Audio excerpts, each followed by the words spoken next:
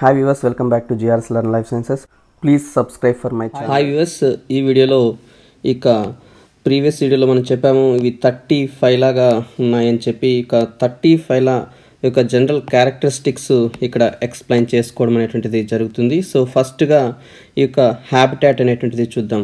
So ఇక habitat కూడా discuss చేసే ముందు మనకు తెలుసు ఇక చాలా wide variety number of species అనేటువంటివి ఇక ఇన్వర్టిబ్రేట్ ఫైలాలో ఉంటున్నాయి. వీటన్నిటిలో కూడా చూసినట్టయితే కామన్ ఫ్యాక్ట్ అనేటువంటిది కామన్ స్ట్రక్చర్ వీటన్నిటిలోనూ ఉన్నటువంటిది ఒకే ఒక నిర్మాణము. అది వాటిలో వర్టిబ్రల్ కాలం అనేటువంటిది లోపించి ఉండడం. సో మిగిలినటువంటి అన్ని లక్షణాల్లో కూడా చాలా డైవర్సిటీ అనేటువంటిది వైవిధ్యం అనేటువంటిది మనకు గమనిస్తాము ఈ యొక్క ఆర్గానిజమ్స్లో. సో ఇక ఆల్ థర్టీ ఫైవ్లా కూడా మోస్ట్లీ ఇవన్నీ కూడా అన్నీ కూడా సీలో ఇవి ఎవాల్వ్ అయినటువంటివి. అంటే సముద్రంలో అన్నీ కూడా ఎవాల్వ్ అయినటువంటి ఈ యొక్క స్పీసీస్ ఈ మొత్తం యొక్క థర్టీ ఫైవ్ లాక్ సంబంధించినటువంటి స్పీసీస్ కూడా. సీలో ఇవి ఎవాల్వ్ అయినప్పటికీ తర్వాత ఏమయ్యాయంటే ఇవి టెరెస్ట్రియల్ హ్యాబిటాట్స్ కంటే ఈ యొక్క భౌమ్య ఆవాసాలకి ఇవి తర్వాత అడాప్ట్ అవ్వడం జరిగింది. ఇక భౌమ్య వాతావరణానికి అవి అలవాటు పడడం అనేటువంటిది జరగడం జరిగింది. సో ఇక్కడ ఉన్నటువంటి పొరిఫెరా కావచ్చు ఇక్కడ సీలెంట్ రేట్స్ కావచ్చు ఈ యొక్క ఆర్గానిజమ్స్ అనేటువంటి చూసినట్టయితే వీటిలో మోస్ట్ ఆఫ్ ద ఆర్గానిజమ్స్ అనేటువంటివి ఇవన్నీ కూడా సీ వాటర్లో ఉండేటివి. అండ్ కొన్ని మాత్రమే ఇక పొరిఫెర్లో కావచ్చు ఇక సీలెంట్ రేట్స్లో కొన్ని మాత్రమే ఏమైనా అంటే ఇక ఫ్రెష్ వాటర్ ఆర్గానిజమ్స్ అనేటువంటిది మనం గమనిస్తాము. ఎక్కువగా అన్ని ఆర్గానిజమ్స్ కూడా ఇక సీ వాటర్లో మొదటగా ఎవాల్వ్ అయ్యాయి. సో సీ వాటర్లో ఎవాల్వ్ అయినటువంటి ఈ యొక్క స్పీసీస్ కావచ్చు లేదా ఇక ఆర్గానిజమ్స్ కానీ తర్వాత డిఫరెంట్ హ్యాబిటాట్స్కి ఇవి అలవాటు పడడం అనేటువంటిది. అంటే విభిన్నమైనటువంటి యొక్క ఆవాసాలలో అవి వాటి యొక్క అనుకూలంగా జీవనం అనేటువంటిది సాగించడం అవి ప్రారంభించడం జరిగింది. అలాగే ఇక ఎంటోప్రాక్టా యొక్క జీవులు కూడా కావచ్చు ఇవి కూడా ఎక్కువగా సీ వాటర్లోనే ఎక్కువగా ఉండేటువంటి ఆర్గానిజమ్స్. అలాగే ఇక్కడ రోటిఫెర్స్ కానీ చూస్తే ఇక్కడ రోటిఫెర్స్ కూడా ఇవి ఎక్కువగా ఫ్రెష్ వాటర్ ఆర్గానిజమ్స్ అనేటువంటిది గమనిస్తాం. అలాగే ఇక్కడ గ్యాస్ట్రోట్రైకా చూస్తే వీటిలో సీ వాటర్ స్పీసీస్ కావచ్చు లేకుంటే ఫ్రెష్ వాటర్ స్పీసీస్ కానీ ఇవి ఆల్మోస్ట్ ఈక్వల్గా నెంబర్లో ఉండడం గమనించవచ్చు. సో అలాగే ఇక బ్రాక్యూఫోడా అండ్ ఎకోనోడర్మెట్స్ చూస్తే ఇవి కంప్లీట్గా ఇవి సీ వాటర్లో ఉండేటువంటి ఆర్గానిజమ్స్ ఇవి ఫ్రెష్ వాటర్లో ఇవి అడాప్ట్ కాలేకపోయాయి. అలాగే అన్లిడ్స్లో కానీ చూసినట్టయితే ఎక్కువగా కన్లిడ్స్ అనేటువంటివి మెరైన్ ఆర్గానిజమ్స్ ఉంటాయి. సో చాలా మటుకు ఇక టెరెస్ట్రల్ ఆర్గానిజమ్స్ ఉన్నప్పుడు కూడా ఇక సో టెరెస్ట్రల్ ఆర్గానిజమ్స్ ఉన్నప్పుడు కూడా వీటిలో ఇంకా స్టిల్ ఇక సీ వాటర్లో ఉండేటువంటి ఆర్గానిజమ్స్ అనేటువంటిది మనం గమనించవచ్చు అలాగే మొలస్క్లో కూడా అంతే. ఇవి టెరెస్ట్రల్ ఆర్గానిజమ్స్ అయితే వీటితో పాటు ఇట్లో కూడా సీ వాటర్ ఆర్గానిజమ్స్ అనేటువంటివి ఉంటాయి. అదే ఇక ఆర్థ్రోపోడ్లో కానీ చూసినట్టయితే ఇక ఆర్థ్రోపోడ్స్లో చూస్తే వీటిలో క్రస్టేషన్స్ అనేటువంటి చూస్తే క్రస్టేషన్స్ అనేటువంటిది చాలా ఎక్కువగా మెరైన్ ఆర్గానిజమ్స్ అనేవి ఉంటాయి. వీటిలో క్రస్టేషన్ అనేటువంటి క్లాస్ ఉంది. సో ఆ క్లాస్లో ఉన్నటువంటి ఎక్కువగా మెరైన్ ఆర్గానిజమ్స్ ఉంటాయి. అండ్ రిమైనింగ్ క్లాస్ ఆర్గానిజమ్స్ అన్నీ కూడా ఇవి టెరెస్ట్రియల్ ఆర్గానిజమ్సే. సో ఈ విధంగా వీటి యొక్క ఆవాసాలు కానీ చూసినట్లయితే ఇక ఫ్రెష్ వాటర్లోను సీ వాటర్లోను అంటే ఇక ఎన్విరాన్మెంట్లో ఇవి నివసిస్తూ ఉంటాయి. అలాగే కొన్ని ఆర్థ్రోపోడ్స్ అనేటువంటి ఈవెన్ ఎయిర్లో కూడా నివసిస్తూ ఉండడం గమనిస్తాము. సో ఈ విధంగా వీటి యొక్క ఆవాసంలో చాలా వైవిధ్యం అనేటువంటిది మనము గమనిస్తాము. నెక్స్ట్ వాటి యొక్క సేపు అంటే వాటి యొక్క ఆకృతి అనేటువంటిది. వీటి యొక్క ఆకృతి కానీ పరిశీలిస్తే ఇక ఆకృతిలో కూడా చాలా వైవిధ్యమైనటువంటిది వైవిధ్యం అనేటువంటిది మనము గమనించవచ్చు సో ఇక ప్రోటోజోవాలో చూసినట్టయితే ఇక ప్రోటోజోవా ఆర్గానిజమ్స్ అనేటి అమీబా సో ఇలాంటి ఆర్గానిజమ్స్ అనేటువంటి వాటికి వీటికి ప్రాపర్ షేప్ అనేటువంటిది ఉండదు. సో వాటికి ఆకృతి అనేటువంటిది మారుతూ ఉండడం గమనిస్తాము. సో ఇక ప్రోటోజోవాలో ఇర్రెగ్యులర్ షేప్ అనేటువంటిది అంటే ఒక ప్రాపర్ షేప్ అనేటువంటిది ఒక రెగ్యులర్ షేప్ అనేటువంటిది మనం అక్కడ గమనించాము. సో అదే ఇక పొరిఫెరా కావచ్చు లేదా సీలెంట్రేట్స్ కావచ్చు ఈ సీలెంట్రేట్స్ అండ్ పొరిఫెరస్ చూస్తే ఇవికి ప్లాంట్ లైక్ స్ట్రక్చర్ అనేటువంటిది ఇవి మొక్కల లాంటి నిర్మాణం అనేటువంటిది మనం గమనిస్తాము. మనకు పొరిఫెరల్లో చూస్తే ఈ యొక్క స్పంజికలు అనేటువంటివన్నీ కూడా ఇక మొక్కల లాంటి నిర్మాణాలుగా మనకు కనిపిస్తాయి. అదేవిధంగా సీలెంట్రేట్స్లో చూస్తే సిలెంట్ పాలిప్ స్టేజెస్ అనేటువంటివి చూస్తే సిలిండ్రేట్స్ యొక్క పాలిప్ స్టేజెస్ పాలిప్ దశలు అన్నీ కూడా ఇక మొక్కలు లాంటి నిర్మాణాల లాగానే మనకు కనిపిస్తుంది. సో ఈ విధంగా వాటి యొక్క ఆకృతి అనేటువంటిది చాలా వైవిధ్యంతో ఉంటుంది. ప్లాటి హెల్మెంతిస్ జీవులు కానీ చూసినట్టయితే ఈ జీవులు బల్లపరుపుగా వాటి యొక్క ఆకృతి అనేటువంటిది ఉంటుంది. అదే ఇక్కడ నెమటోడ్ కావచ్చు లేదంటే ఇక అనిలిడా కావచ్చు. సో వీటిలో కానీ చూసినట్టయితే ఇవన్నీ కూడా క్రిమి లాంటి నిర్మాణం కలిగి ఉంటాయి. అన్ని కూడా వర్మి ఫామ్ క్రిమి ఆకారంలో వాటి యొక్క నిర్మాణం అనేటువంటిది ఉంటుంది. అలాగే ఇక్కడ ఎకెనాడర్మేట్స్ అనేటువంటివి చూస్తే ఇక సముద్ర నక్షత్ర ఆకారంలో ఒక ఆకృతి అనేటువంటిది ఉంటుంది. సో ఈ విధంగా వీటికి ఆకృతిలో చాలా వైవిధ్యం అనేటువంటిది మనము ఈ యొక్క ఇన్వర్టిబ్రేట్ ఫైలాలో మనం గమనించవచ్చు. నెక్స్ట్ వీటి యొక్క సిమిట్రీ అంటే వీటి యొక్క సౌష్టం గురించి మనము డిస్కస్ చేద్దాం. సిమిట్రీలో చూస్తే కొన్ని జీవులకు సౌష్టం అనేటువంటిది ఉండవు. అసౌష్టంగా ఉండడం గమనిస్తాము. వాటిని అసిమెట్రికల్ ఆర్గానిజమ్స్ అంటాం. అలాగే కొన్నిట్లో బైలేటరల్ సిమెట్రీ ద్విపార్శ్వ సౌష్టం అనేటువంటిది గమనిస్తాము. మరికొన్ని జీవుల్లో చూసినట్టయితే ఇక్కడ రేడియల్ సిమెట్రీ అనేటువంటిది కూడా గమనించవచ్చు. సో ఈ విధంగా సిమెట్రీ అనేటువంటిది ఈ యొక్క డిఫరెంట్ ఫైలాలో ఇక ఇన్వర్టిబ్రేట్స్లో గమనించవచ్చు. ఇక ప్రోటోజోన్స్ ఉన్నాయి. ఇక ప్రోటోజోన్స్లో చూస్తే వీటిలో అసిమెట్రీ అనేటువంటిది ఉంటుంది. సౌష్టం అనేటువంటిది లోపించడం అలాగే పొరిఫరెన్స్లో కూడా ఇక సౌష్టం అనేటువంటిది లోపిస్తుంది. అదే సీలెంట్రేట్స్ కానీ చూస్తే సీలెంట్రేట్స్లో ఇక రేడియల్ సిమెట్రీ అనేటువంటిది గమనిస్తాము. ఇక ప్లాటీ హెల్మింత్రిస్లో చూస్తే ఇక బైలేటరల్ సిమెట్రీ అనేటువంటిది గమనిస్తాము. అలాగే ఎకైనా టెర్మెట్స్లో చూస్తే వీటిలో కూడా రేడియల్ సిమెట్రీ అనేటువంటిది మనం అబ్జర్వ్ చేయవచ్చు. సో ఈ విధంగా వీటిలో కూడా వైవిధ్యమైనటువంటి ఈ యొక్క సౌష్టం అనేటువంటిది వివిధ వర్గాల జీవుల్లో మనము గమనించవచ్చు. Next grades of organisation next ఇక జర్మ్ లేయర్స్ సో వీటిని జనన స్థరాలు అంటారు. సో మన సో ఈ యొక్క జనన స్థరాలు కానీ పరిశీలించినట్టయితే ఇక్కడ ఉన్నటువంటి ఒక పొరిఫెరా జీవుల్లో చూస్తే వీటిని డిప్లోబ్లాస్టిక్ ఆర్గానిజమ్స్ అంటే అంటే జీవులు అని చెప్పి చెప్పడం జరుగుతుంది. అండ్ ప్లాటీ హెల్మింతిస్ జీవులు కానీ చూస్తే త్రిస్తరిత జీవులు అంటే వీటిలో మూడు జనన స్థరాలు ఉంటాయి వాటిని బహిత్వచము మధ్యత్వచము అంతస్త్వచము అంటారు. అదే పొరిఫెరా జీవుల్లో చూస్తే రెండే వాటి యొక్క త్వచాలు అనేటువంటిది జైవి దేహ నిర్మాణంలో ఉంటాయి. వాటిని బాహ్యత్వచము మరియు అంతర్త్వచము అని చెప్పి చెప్పడం జరుగుతుంది. సో అదే ప్లాటీ హెల్మింతిస్లో చూస్తే మూడు జనన స్థరాలు అనేటువంటిది బాహ్యత్వచము మధ్యత్వచము అంతస్త్వచంతో వాటి యొక్క జీవి దేహ నిర్మాణంలో గమనించవచ్చు. ప్లాటీ హెల్మెంతిస్ నుంచి తర్వాత వచ్చేటువంటి అన్ని యొక్క ఫైలమ్స్లో కూడా మనము త్రిస్తరిత స్థాయిలో వాటి యొక్క జీవి వాటి యొక్క జీవి దేహ నిర్మాణం అనేటువంటిది గమనించవచ్చు. Grades of organisation protoplasmic grade అంటే ఇక ప్రోటోజోన్స్లో ఉండేదాన్ని ప్రోటోప్లాస్మిక్ గ్రేడ్ అంటారు. దీన్ని జీవ పదార్థ స్థాయి దేహ నిర్మాణము అని చెప్పి చెప్పడం జరుగుతుంది. సో ఇక జీవ పదార్థమే ఆ యొక్క జీవికి సంబంధించినటువంటి మొత్తము చర్యలను కూడా అంటే జీవ చర్యలను కూడా అది ప్రదర్శిస్తుంది. తర్వాత సెల్యులార్ స్టేజ్ ఆఫ్ ఇక ఆర్గనైజేషను అని చెప్పి చెప్తాము. సో ఇక పొరిఫెరా జీవుల్లో ఇక సెల్యులార్ స్టేజ్ అంటే ఇక కణాల స్థాయిలో ఇక దేహ వ్యవస్థ అనేటువంటిది ఏర్పడుతుంది. సో ఇందులో వీటిలో అనేక కణాలు అనేటువంటిది ఉండడం వల్ల ఒక ప్రతి కణంకు ఏమంటే ఒక పర్టికులర్ యాక్టివిటీ అనేటువంటిది అసైన్ చేయబడడం జరుగుతుంది పర్టికులర్ వర్క్ అనేటువంటిది అవసైన్ చేయబడడం జరుగుతుంది. ఈ విధంగా డివిజన్ ఆఫ్ లేబర్ అనేటువంటిది మనము ఈ యొక్క జీవుల్లో గమనించవచ్చు. అంటే పని విభజన అనేటువంటిది గమనిస్తాము. ఇక ప్రోటోజోవా జీవుల్లో సింగిల్ సెల్తో వీటి యొక్క దేహ నిర్మాణం అనేటువంటిది ఏర్పడి ఉంటుంది కాబట్టి ఆ యొక్క సింగిల్ సెల్లే ఆ యొక్క రెస్పిరేషన్ కావచ్చు ఎక్స్క్రీషన్ కావచ్చు అన్ని బాడీ ఫంక్షన్స్ని కూడా అది పర్ఫామ్ చేయాల్సి ఉంటుంది. అదే పొరిఫెరా జీవుల్లో వీటి యొక్క దేహ నిర్మాణం అనేటువంటిది ఇక సెల్యులార్ స్టేజ్లో ఉంటుంది అంటే అనేక కణాలతో కూడా ఏర్పడి ఉంటుంది. సో అందువల్ల ఇక పొరిఫెరన్స్ మెటాజోవన్స్ కూడా అంటారు. ఎందుకంటే వీటిలో దేహంలో అనేక కణాలతో వీటి యొక్క దేహం అనేటువంటిది ఏర్పడి ఉంటుంది కాబట్టి. సో ఈ విధంగా ఏర్పడినటువంటి అనేక కణాలు అనేటువంటిది ఏమవుతాయంటే ఇవి వేరు వేరు పనులు అనేటువంటిది నిర్వర్తించడానికి వీలుగా ఇవి విభేదీకరణం అనేటువంటిది డిఫరెన్షియేషన్ అనేటువంటిది చెంది ఉంటాయి. సో అందువల్ల ఇక్కడ డివిజన్ ఆఫ్ లేబర్ అనేటువంటిది కూడా ఈ యొక్క పొరిఫెరా జీవుల్లో మొదటిగా మనము గమనించవచ్చు. Next cell tissue grade. So దీన్ని కణజాల అవయవస్థాయి అంటారు. ఇక కణజాల అవస్థ అవయవస్థాయి అనేటువంటిది ఇక సీలెంట్రేట జీవుల్లో మనము గమనించవచ్చు సీలెంట్రేట్స్లో కానీ గమనిస్తున్నట్టయితే సో ఇక పొరిఫెరా జీవుల్లో ప్రతి సెల్లు ఒక ప్రత్యేకమైనటువంటి విధిని నిర్వర్తిస్తుంది అని చెప్పాం. ఈ విధంగా ఒకే రకమైనటువంటి విధిని నిర్వర్తించేటువంటి కొన్ని కణాలు అనేటువంటివి సమూహంగా ఏర్పడి ఆ యొక్క కొన్ని కణాలు సమూహంగా ఏర్పడినటువంటి ఈ యొక్క వీటిని ఏమనొచ్చు అంటే మనం టిష్యూ అని చెప్పొచ్చు.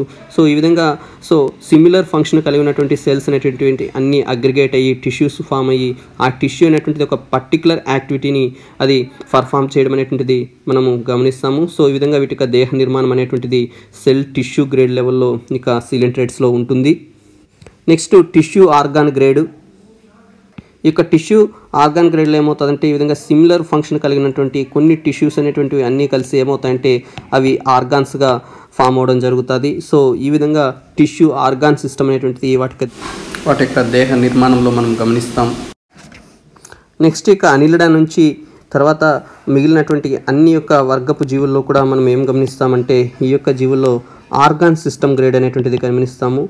సో ఒక పర్టికులర్ ఫంక్షన్ని పర్ఫామ్ చేసే ఇక ఆర్గాన్స్ అన్నీ కలిసి ఏమవుతాయంటే మళ్ళీ ఇవన్నీ కలిసి ఒక సిస్టమ్గా ఇవి క- మారడం అనేటువంటిది జరుగుతుంది.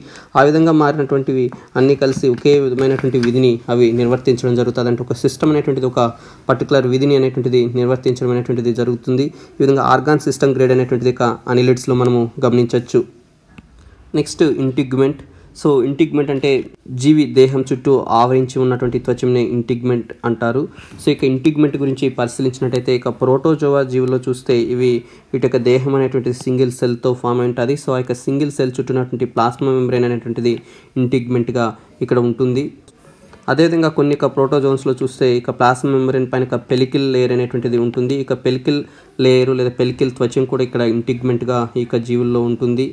అదేవిధంగా కొన్ని ఇన్వర్టిబ్రేట్స్లో ఏమవుతుందంటే వీటి యొక్క దేహం చుట్టూ మనము ఎపిడర్మిస్ అనేటువంటిది ఒక ప్రొటెక్టివ్ ఎపిడర్మిస్ లేయర్ అనేటువంటిది ఫామ్ అవడం గమనిస్తాము. ఈ విధంగా ఎపిడర్మిస్ అనేటువంటిది వాటి యొక్క జీవి దేహ త్వచంగా ఉండడం జరుగుతుంది. అయితే ఇక ఎపిడర్మిస్ అనేటువంటిది సమ్ టైమ్స్ ఏమవుతుందంటే ఇది సింగిల్ లేయర్ ఆఫ్ సెల్స్తో ఫామ్ అయి ఉండొచ్చు.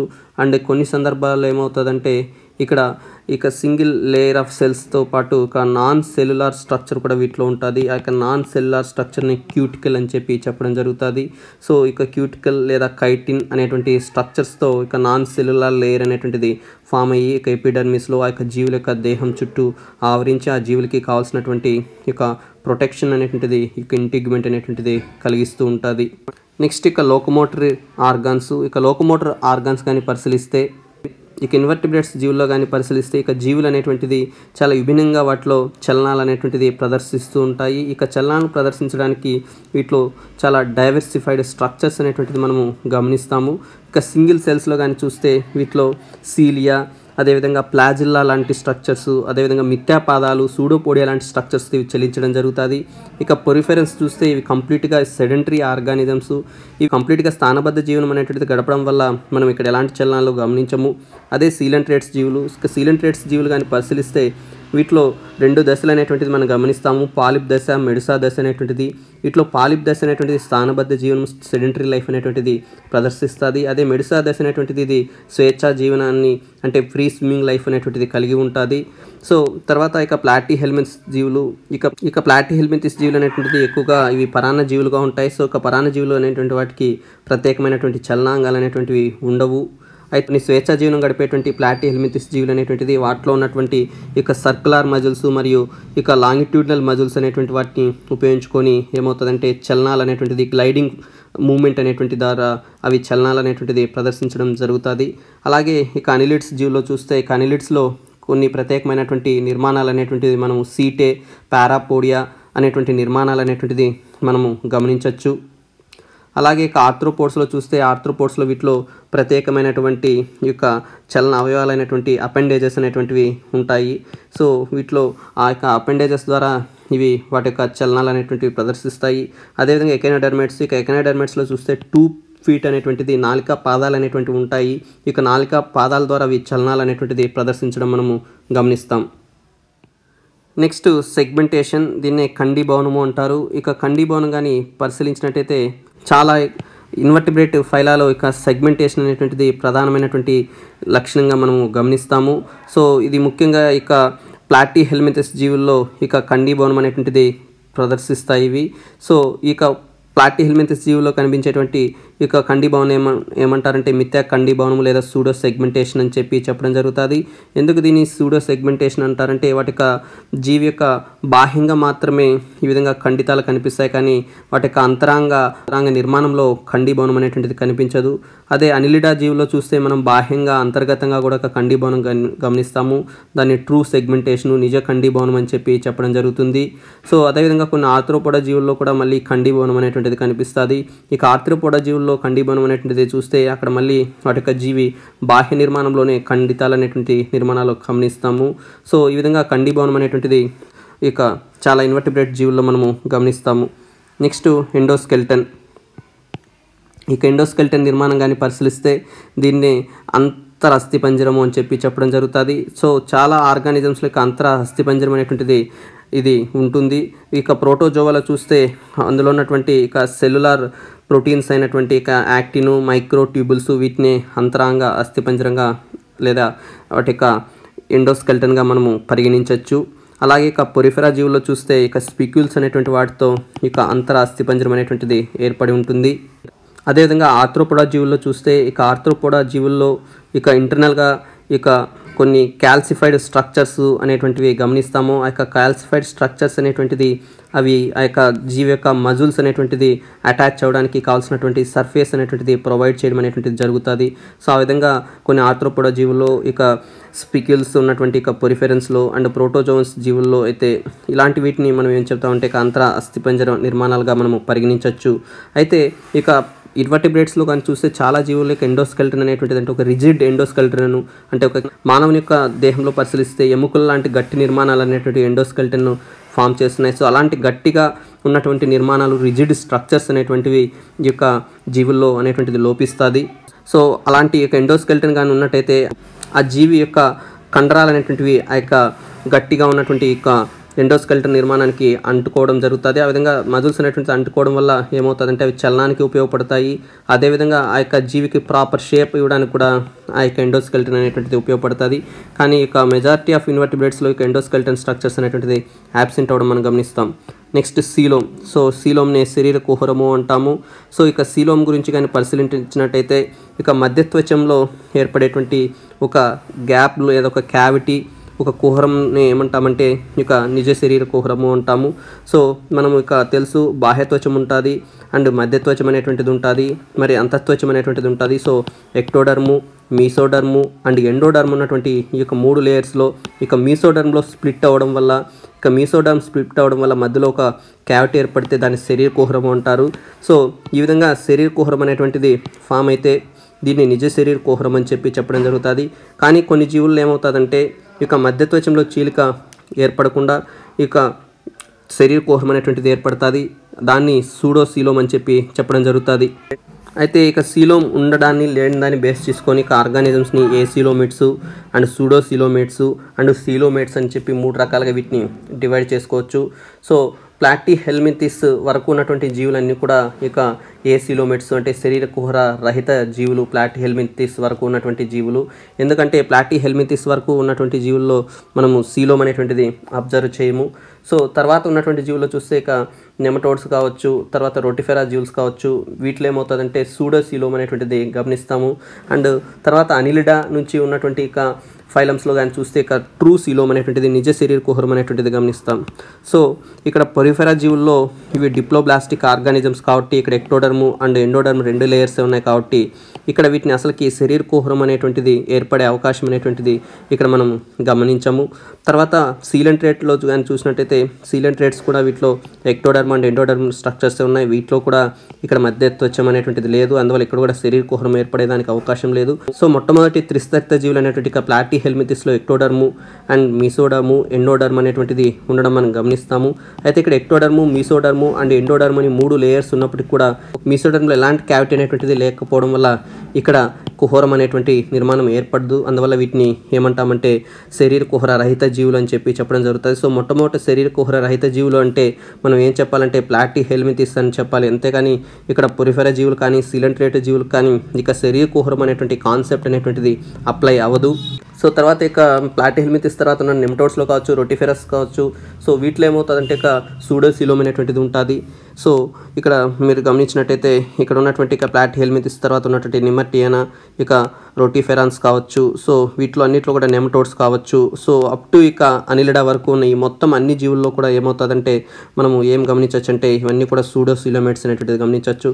సో అనిలిడా నుంచి ఉన్నటువంటి ఇక అన్ని జీవులు కూడా వీటిలో ఏమవుతుందంటే ఇక సీలోమ్ అనేటువంటిది ఫామ్ అవడం మనము గమనిస్తాం. నెక్స్ట్ డార్సల్ గట్ సో పృష్ట ఆహార నాళము.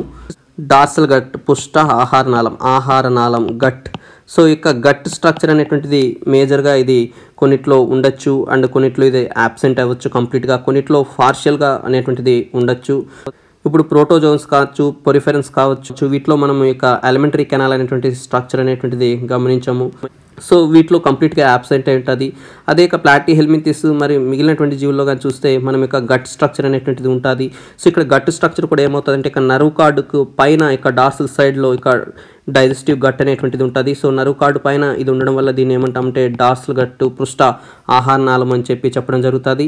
సో ఈ యొక్క గట్ అనేటువంటిది ఇది నోటితో ప్రారంభమై పాయుతో ఇది ఎండ్ అవ్వడం జరగచ్చు. సో కన్ సమ్టైమ్స్ ఇది ఇన్కంప్లీట్గా కూడా ఇది ఉండొచ్చు. సో డైజెస్టివ్ ట్రాక్ట్ అనేటువంటిది ఆహారనాళం అనేటువంటిది సంపూర్ణంగా ఉండొచ్చు లేదా అసంపూర్ణంగా ఉండొచ్చు. సో సంపూర్ణంగా ఉంటే ఇది మౌత్తో స్టార్ట్ అయ్యి యానస్తో ఎండ్ అవుతుంది. అసంపూర్ణంగా ఉన్నట్టయితే ఇది మౌత్తో స్టార్ట్ అవుతుంది అంతేగాని ఇది యానస్తో ఎండ్ అవ్వడం అనేటువంటిది జరగదు. మనము ఇన్వర్టిబ్రేట్స్ ఇక వర్టిబ్రేట్స్లో కానీ గమనించినట్టయితే ఇక ఇన్వర్టిబ్రేట్స్లో ఇక వర్టిబ్రేట్స్లో కానీ కొన్నిట్లో ఇక మొప్పలు అనేటువంటివి మొప్ప చీలికలు అనేటువంటి నిర్మాణాలు గిల్ స్లిట్స్ అనేటువంటివి ఉంటాయి. వర్టిబ్రేట్స్లో కానీ చూస్తే ఇక గిల్ స్లిట్స్ లేదా ఇక మొప్ప చీలికలు అనేటువంటివి ఇక ఆహార నాళంలో ఒక ప్రారంభంలో అంటే ఇక గ్రసిని దగ్గర ఇక చీలికలు అనేటువంటిది ఏర్పడి ఇక ఆహార నాళంలో ఆ యొక్క గ్రసిని ప్రాంతంలో ఏర్పడినటువంటి చీలికలను ఏమంటామంటే ఇక గ్రసిని మొప్ప చీలికలు అంటాం. ఇవి శ్వాస క్రియను ఇవి నిర్వర్తించేటువంటి లక్షణాన్ని కలిగి ఉంటాయి. అది అదేవిధంగా ఇక ఇన్వర్టిబ్రేట్స్లో కూడా మొప్పలు అనేటువంటి నిర్మాణాలు ఉంటాయి. కానీ ఇక మొప్పలు అనేటువంటివి ఇవి ఆహార నాళం నుంచి ఏర్పడేటువంటి నిర్మాణాలు కావు.